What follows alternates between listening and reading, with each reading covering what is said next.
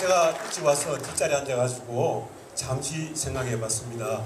여러 가지 감사할 내용이 많은데 줄여서 세 가지만 생각했습니다. 첫 번째로 아, 전국 크로마하프 음악제에 걸맞게 각 지역에서 오셔가지고 다양한 레퍼토리 가지고 이렇게 음악제를 진행하게 돼서 정말 감사를 드리고요. 두 번째, 세상 많은 사람들은요, 20년쯤 되면 벌써 반 쪼개지고 또 반 쪼개지고 해가지고 여러 가지 단체로 이렇게 나눠지는데 20년 동안 계속해서 성음 크로마 합국 한개 가지고 이렇게 쭉 진행되는 걸 보면서 얼마나 감사한 줄 몰라요. 이때는 박수 치는 거예요. 그래요.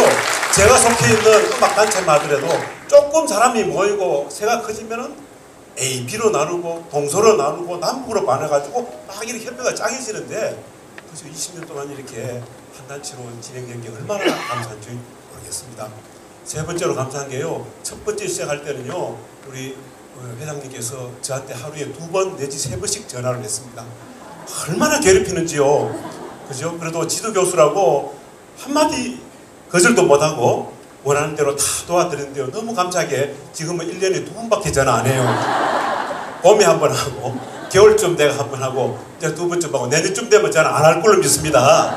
예, 너무너무 감사합니다. 마지막으로 21회, 올해가 20회입니다. 21회는 타이틀을 고쳐야 됩니다. 올해는 전국 크로마하프 음악제인데 내년부터는 World Chromaharp Music Festival로 바꿔지길 기대해 봅니다. 감사합니다.